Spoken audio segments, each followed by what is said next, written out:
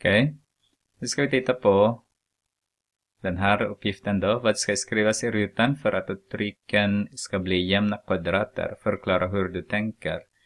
Ja, kom ihåg att det här är ju a plus b parentes upphöjd till 2 är lika med a upphöjd till 2 plus 2ab plus b upphöjd till 2.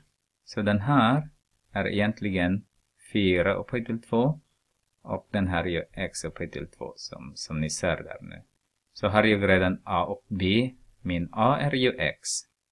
Så min a är x. Min b är lika med 4.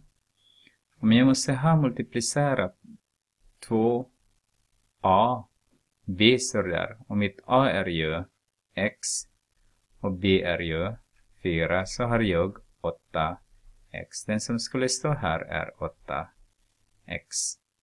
Okay, vi gör likadant med b. Vi har ju 9 är ju 3 upphöjt till 2. Så min a är lika med x och min b är lika med eh, 3. Så jag skulle ha 2ab som är 2 multiplicerat med x multiplicerat med 3 som är 6x. Så min 2ab är ju 6x.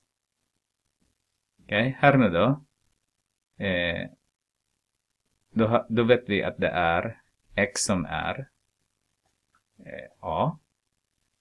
Jag behöver inte skriva där. Och sen här i 16 är ju 2 multiplicerat med 8 multiplicerat med x. Vet vi redan att x är a. Och den här tvåan är ju konstant här. Det betyder vårt b är ju 8. Det här är ju B. Och den, om ni ser här nu, B upphöjt till 2 ska vara sista. Så det vill vara 8 upphöjt till 2. Eller skriver man istället att skriva 8 upphöjt till 2 så skriver man 64 istället.